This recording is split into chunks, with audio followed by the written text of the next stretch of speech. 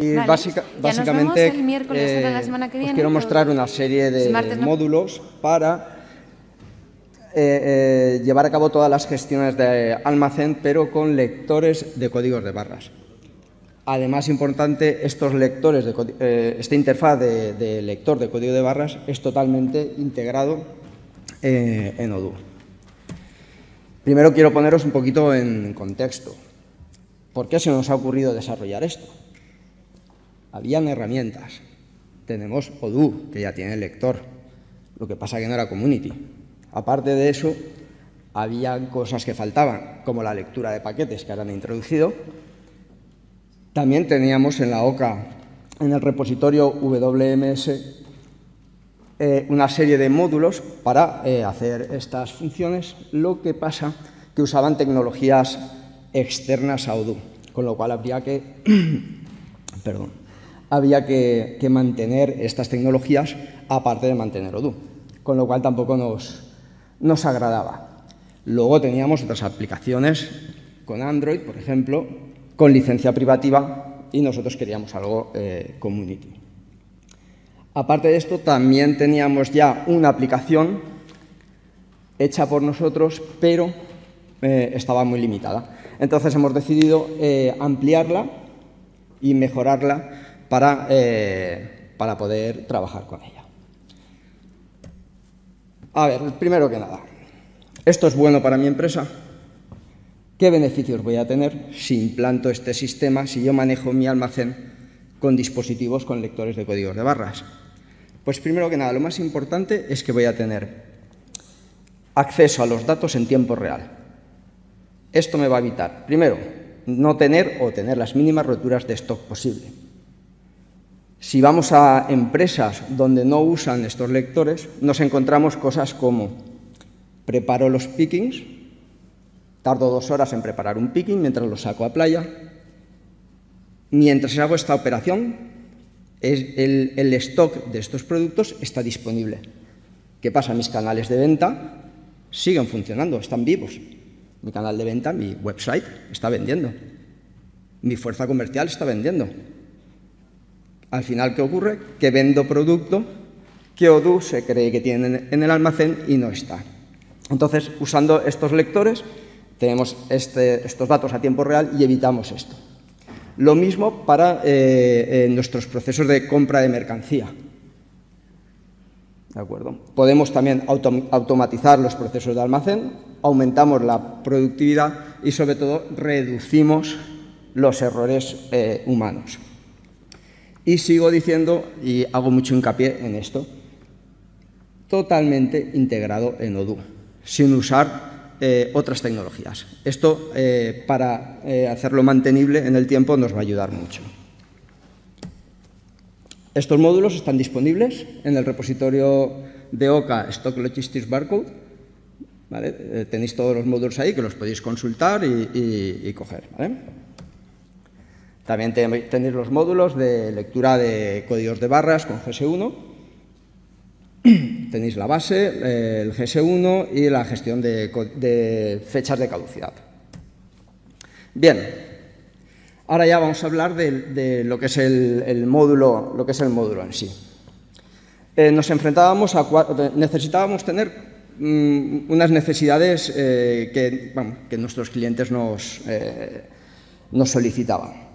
Primero, mm, que tuviese una interfaz eh, adaptable tanto a vistas eh, con dispositivos en tablet como en eh, dispositivos ya más profesionales, lectores de mano, cuya pantalla es muy pequeñita y aquí sí que, hemos tenido que hacer un, gran esfuerzo para adaptar el tamaño de, todos los campos para que entrasen y que, y que fuese totalmente funcional en, en, estos, en, estos, lectores.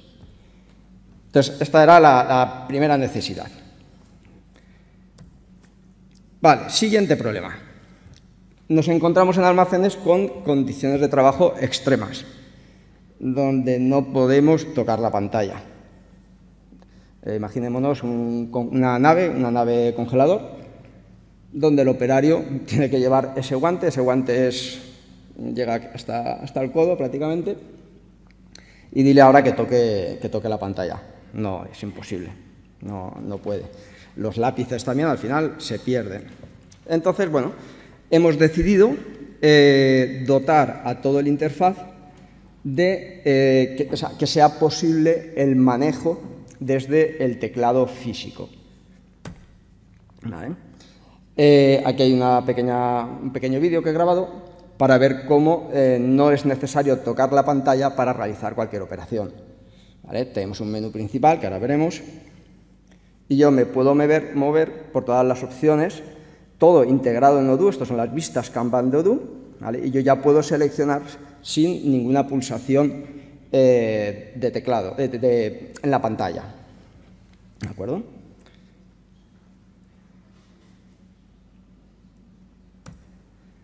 Bien, siguiente problema al que había que enfrentarse.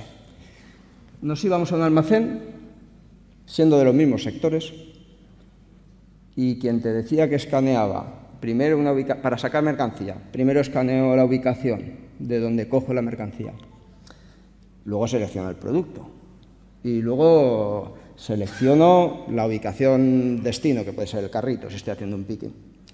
Bien, pero llegabas a otro almacén y resulta que te decían que no, que cómo van a, escanear eh, la, ubicación, escanean el paquete y ya lo tienen todo, que no... ¿De acuerdo? Entonces, ¿qué, tuvimos que hacer? Eh, eh, establecer una, configuración en la que por cada tipo de operación podamos elegir un perfil de escaneo con un comportamiento distinto. Este, estos perfiles de, comportamiento del escaneo hacen que pues pueda, he señalado aquí pues cinco, opciones de todas las que tiene, un modo libre o guiado, que ahora luego explicaré lo que es, poder mostrar movimientos pendientes, obligar a confirmar cada operación, poder introducir la cantidad manualmente. Por ejemplo, en este caso de la cantidad manual es muy típico que si yo trabajo con productos con número de serie único, pues yo por cada escaneo, por ejemplo, del lote, estoy eh, anotando una, única unidad. Entonces, no tengo necesidad de introducir la cantidad. Pero, en cambio, si yo estoy trabajando con producto mm, que puede ser un entrecot, yo quiero pesarlo y quiero introducir esa cantidad. Entonces, todo esto lo voy a poder gestionar y configurar eh, en estos perfiles de escaneo. Por ejemplo, creación eh, de lotes automáticos y la más eh, compleja es la definición de pasos al escanear, donde es aquí donde aquí puedo elegir exactamente qué quiero hacer, en qué orden y qué comportamiento debe tener la aplicación para satisfacer la, necesidad en las, operaciones de almacén. Y por último, al usuario había que darle la máxima información posible. Entonces, para eso eh, establecimos lo que es el modo guiado o modo libre. Modo guiado, donde ya en el interfaz le sale al usuario información de a qué ubicación tiene que ir, qué producto tienes que coger, qué lote, qué empaquetado, qué cantidad. ¿De acuerdo? Además de esto, eh, eh, con, estos perfiles de configuración puedo obligar a que si he dicho que hay que coger este lote, no puedes cogerme otro. Todo eso configurable también. Y luego ya un modo libre, que es el usuario el que decide qué, es lo que va a hacer, a qué ubicación va, qué producto coge. Tiene total libertad para eh, realizar las operaciones que él considere y siempre le doy algo de información de qué, eh, operación tiene que hacer, pues, qué producto pendiente tiene que coger, qué demanda inicial necesita, qué cantidad ya ha leído, etc. Bien, ¿qué podemos hacer básicamente? Pues vamos a poder recepcionar mercancía, creando, por ejemplo, automáticamente lotes y paquetes, podemos leer códigos GS1, creándose también automáticamente el lote, eh, en el caso, dependiendo, de qué tipo de, dependiendo de qué tipo de código de barras, pues se puede ya crear con la fecha de caducidad, etc. Voy a poder realizar movimientos internos, voy a poder mover la mercancía de ubicaciones, puedo realizar entregas de mercancía, puedo también realizar entregas desde grupos de albaranes, desde la agrupación de albaranes, los conocidos batch pickings, y también voy a poder hacer eh, inventarios. Esto es eh, básicamente lo que podemos hacer. Y yo ahora pues, me he preparado una serie de casos prácticos para que vieseis cómo, cómo funciona. Son muy sencillitos, entonces me lo voy a preparar, voy a conectar la pistola. Esta es muy, esto es básico, no, no es un terminal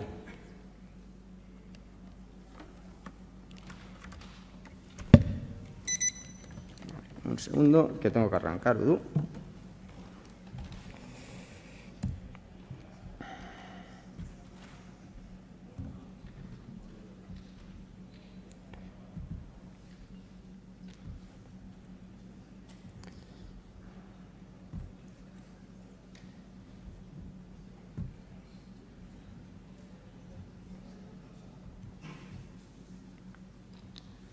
Muy bien.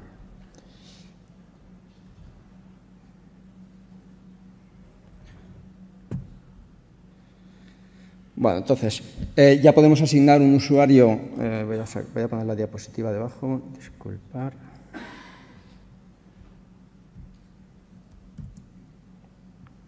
De acuerdo. Vale. ¿Se ve bien? Sí. Vale, yo ya puedo seleccionar un usuario y ya automáticamente cuando este usuario entre, eh, ya le va a aparecer un menú de acciones. Este menú de acciones también es configurable, puedes quitarlas, puedes poner. Y, eh, bueno, como veis, yo aquí me estoy moviendo con, las teclas, sin tocar el ratón ni nada. Entonces, voy a poner un caso práctico, eh, la recepción de discos duros. Un palet de discos duros donde yo tengo un código de, producto y, bueno, pues eso, le doy un palet y voy a ir escaneando los números de serie. ¿De acuerdo? Entonces voy a ir a recepciones. Aquí me puedo mover por las vistas Kanban. Aquí también tengo esto pendiente. Y ya me está diciendo que escanee lote o producto, lo que quiera. Entonces yo tengo aquí la hoja, tengo el disco duro, tengo números de serie y eh, voy a escanear el producto. Ya me ha cogido eh, disco Seagate, Barracuda. Y ahora simplemente voy a ir escaneando eh, números de serie. Porque tengo aquí el palet y me pongo a escanear. Cojo uno, otro.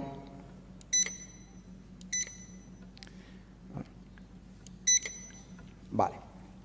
Solo he escaneado 5. Vamos a ver cómo va quedando el picking, el albarán.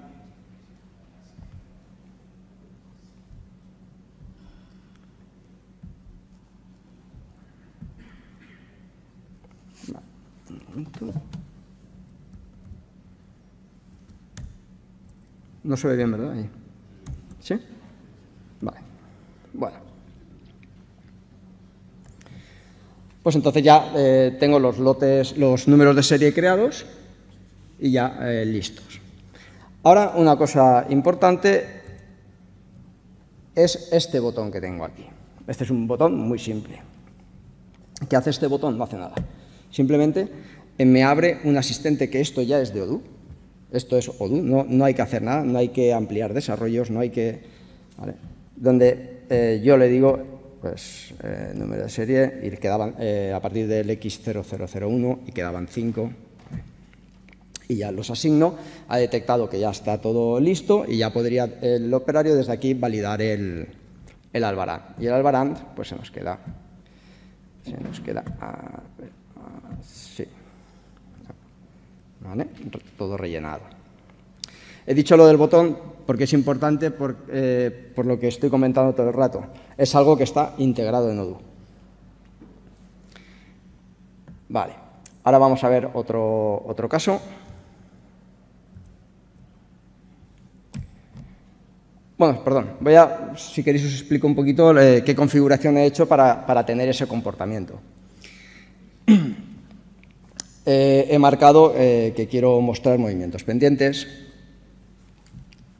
Aquí se ve el puntero, sí.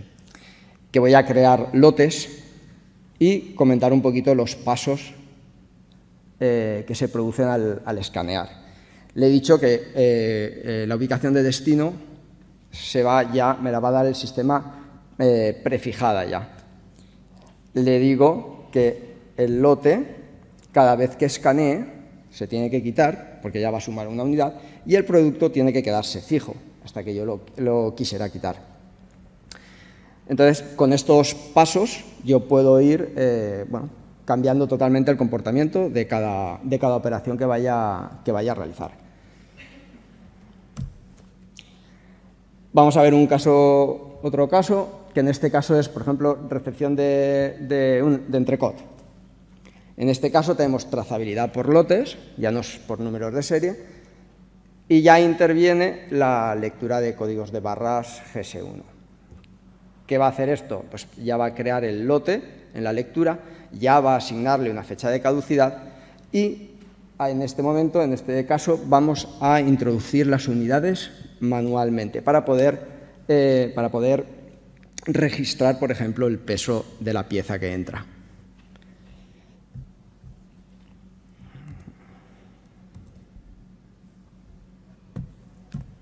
Vale, vamos a recepciones.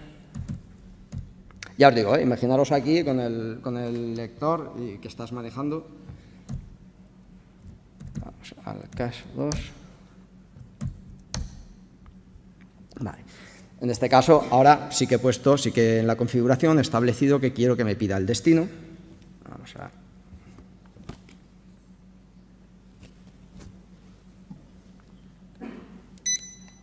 Perfecto.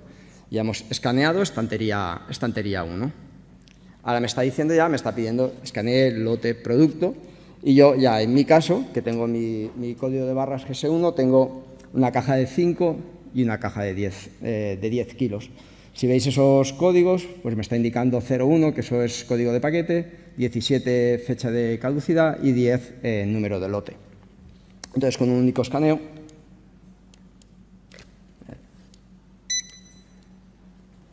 ya me ha detectado el, el entrecot, el lote y que es una caja de 5 unidades. ¿De acuerdo? Como veis, yo ahora aquí sí que puedo introducir o bien unidades de cajas, y él me va computando, y cuando ya acabe, le eh, registro, el, registro el movimiento. ¿De acuerdo? Entonces, ¿esto cómo ha quedado? Bueno, escaneo también la caja de la caja de el paquete de 10. Pues, bueno. Perdón, el destino. Me está pidiendo primero. Estantería. Y... Correcto. Y ya registro una, caja de, una caja de 10.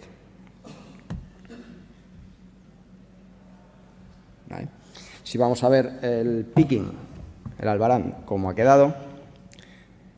Vamos a ver. El otro caso.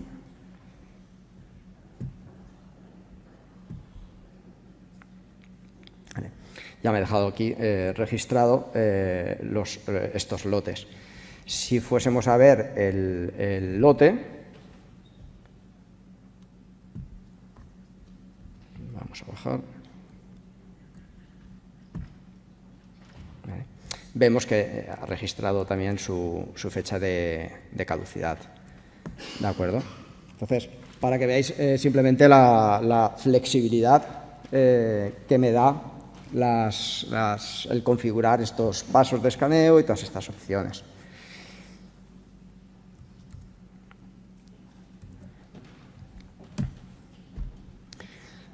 Otro caso, en este caso, es realizar la salida de, la salida de mercancía desde una agrupación de albaranes. Yo tengo tres albaranes de distintos clientes que los juntamos todos en un, en un grupo y lo podemos gestionar. vamos a ver, grupo de albaranes, y ya me pongo a trabajar. Aquí en este caso eh, lo, he configurado de tal forma que le indico al usuario qué me tiene que leer, qué, qué pasos tiene que realizar. Tiene que ir a estantería 1, tiene que coger el brócoli, tiene que coger este lote y de este paquete, que ahora mismo tiene 100 unidades, y me tiene que coger 18 unidades.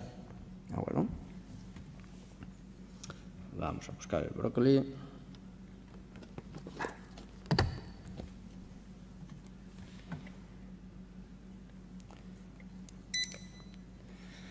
Vale, sí, lo he. He cogido, me he equivocado y he cogido guisantes. No, me tienes que coger el brócoli. Esto también es configurable. Puedo dejar hacer, puedo dejar que me cojas otro producto o no. ¿De acuerdo? Vale. Escaneé cantidad. Si habéis visto ya el, foco, el, foco del cursor ya se ha ido a la casilla cantidad para que, para que me indiques eh, cuántas bolsas vas a, vas a servir.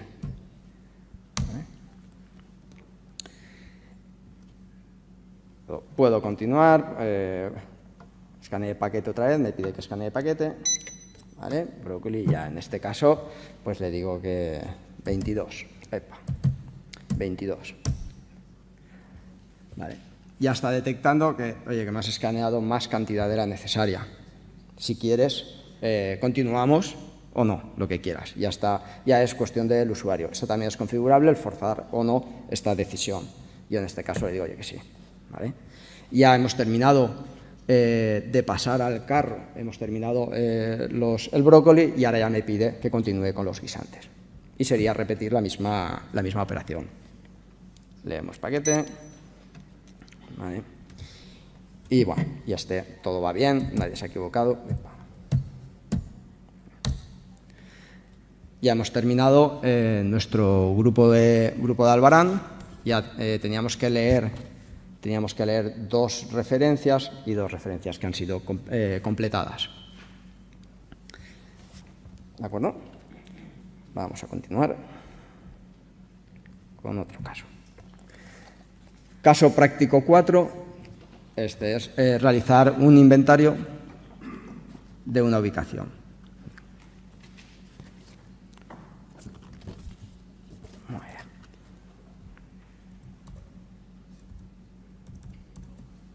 Vale.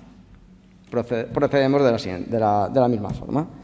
Menú principal, hacia arriba, hacia abajo, inventario. Ya tenemos preparado un, eh, ya hay preparado un inventario de una ubicación, ya le damos y podemos eh, comenzar a, escanear. Aquí he añadido distintas, eh, distintas configuraciones. En este caso va a ir mostrando lo que voy escaneando como registro, registro de lecturas. Esto va muy bien porque puedo estar haciendo el inventario, varios usuarios, pueden, varios usuarios a la vez pueden estar haciendo el inventario y va a ir acumulando las unidades. Y yo voy a ver en cada momento si otro usuario está contando también eh, el mismo producto en la misma ubicación en la que estoy yo. Estantería, eh, por ejemplo, en este caso, escaneé paquete, producto.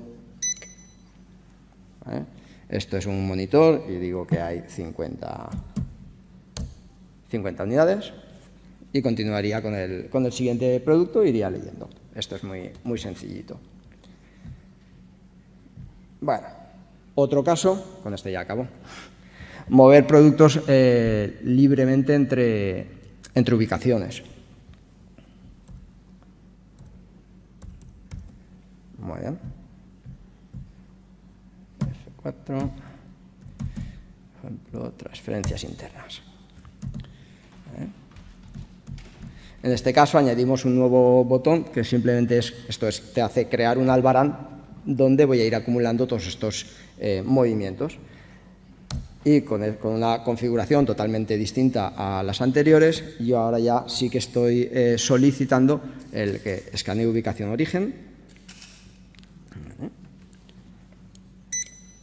Estantería 2, escaneame producto, eh, monitor, escanee destino, ¿vale? Pues lo dejo, si me lo llevo a una ubicación o lo dejaría en el carro en, el carro donde voy acumulando. Estantería 1 y ya, pues, eh, ¿cuántas, vas a, ¿cuántas vas a mover? Vale, pues 5, vale. Si quieres terminar ya, has terminado. Si no, tienes el albarán eh, abierto para continuar moviendo, eh, moviendo producto. ¿De acuerdo? Aparte de esto, bueno, aquí hay más funcionalidades. La de creación de... Se puede crear paquetes conforme voy leyendo, voy montando paquetes. Yo desde aquí puedo Puedo crear un paquete y ya todo lo que escanee va a ser empaquetado en este paquete. Aparte de tener la funcionalidad que tiene Odoo en los, en los albaranes de poner en un paquete, que también la tienes aquí eh, disponible. También se puede entrar en un modo, en un modo manual. Pinchamos a 5. También es configurable que cuando yo activo el modo manual, decirle a qué campo va a irse el foco para continuar a trabajar, porque depende de lo que vayas, cómo, sea tu trabajo, cómo, te organices, pues te interesa un campo eh, u otro. Y bueno, esto es lo que, lo que hemos eh, desarrollado. Espero que lo disfrutéis, que lo probéis, que lo, que lo mejoréis, que colaboréis. Y hasta aquí, hasta aquí hemos llegado. Si tenéis alguna, alguna pregunta.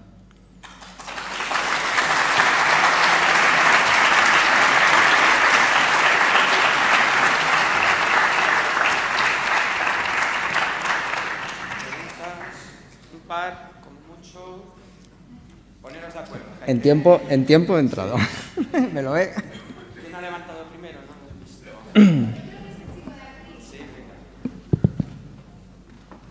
Eh, vale, se me oye. Me ha parecido ver para transferencias internas, cada vez que, escaneas, o sea, que quieres mover un producto, tienes que volver a escanear la ubicación origen y la destino, no, o puedes pasar varios productos a la vez. lo que quieras. ¿Te permite escanear varios productos habiendo seleccionado ya las ubicaciones? Claro. Eso ya depende de... Un segundo. Eh, aquí.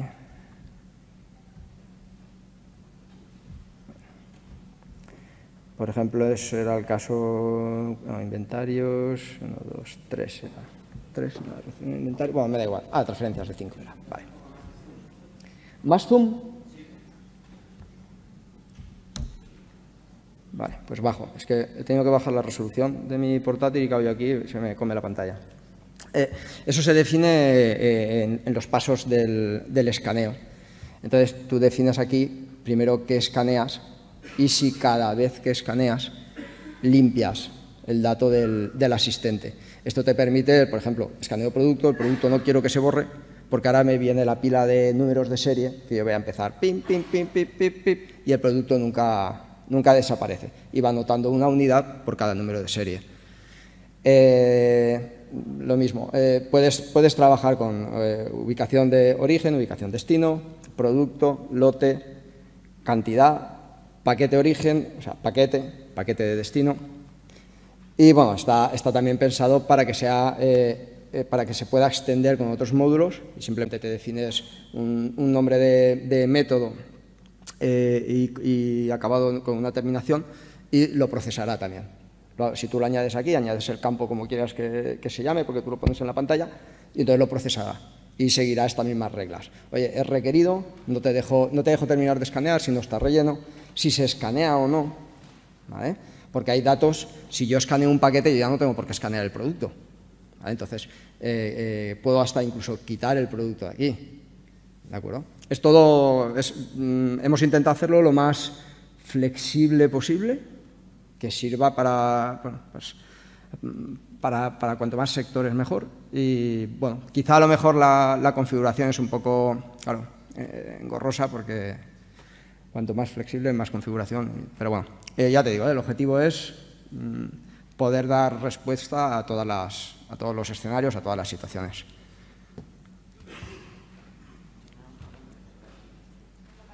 Primero que agradecerte, ¿no? La segunda es, si yo tuviera mi gestión de almacén con código QR y no con código de barra, ¿han pensado en esa solución?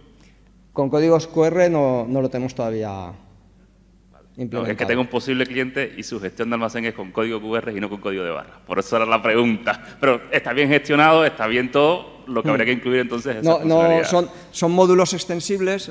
Lo suyo sería hacer el módulo, igual que, está, que existe el módulo del GS1, hacerlo para código QR. Y además se, se quedan desarrollos muy cortitos.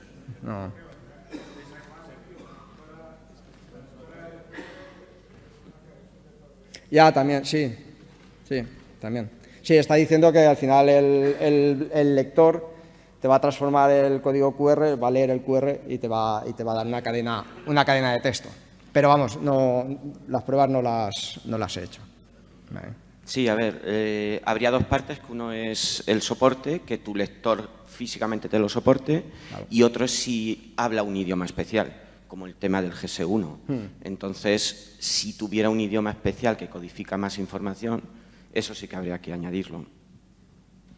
Eh, ¿Hacemos una más? Venga, por ahí.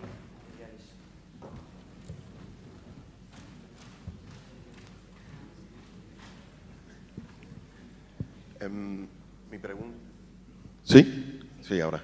Em, me gustaría que nos ayudarais a elegir tipología de hardware, si conocéis marcas, si tenía alguna especificación para que funcione, para que se haga alguna gestión eficaz de... Esto es lo que hemos intentado perseguir, no salirse de Odoo. Tú puedes ejecutar en un terminal Odoo con un navegador, lo tienes resuelto. Ya está. Hemos intentado huir de eh, aplicaciones Android, aplicaciones privativas, eh, terceras tecnologías, que sí, que están muy bien, pero es que por ejemplo, lo que he enseñado del asistente, que eso es el asistente de Odoo que te asigna números de serie, si yo tengo un Android, yo tengo que desarrollarlo eso, si lo quiero. Aquí, bueno, lo que me cuesta añadir el botón. Y abrir el asistente y eso trabaja con el Albarán. ¿De acuerdo? O sea, esa es la, finalidad es cuanto menos código mejor, lo máximo, lo más flexible posible y, ese es el, el, objetivo. O sea, no hay, no hay límite.